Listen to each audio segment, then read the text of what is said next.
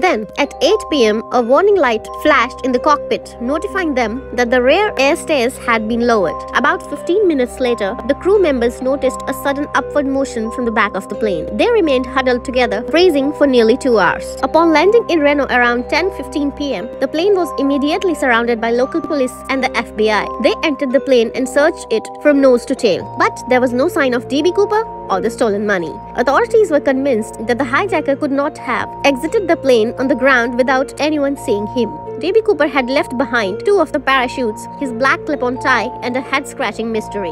DB Cooper had vanished into thin air, literally. The authorities were astonished, especially since none of the fighter jets following the plane had seen him leave the aircraft. But the FBI felt confident that they could track Cooper down. After all, they had a name, a physical description, and several specific details about the man. But in reality, they had much less information than they thought they had.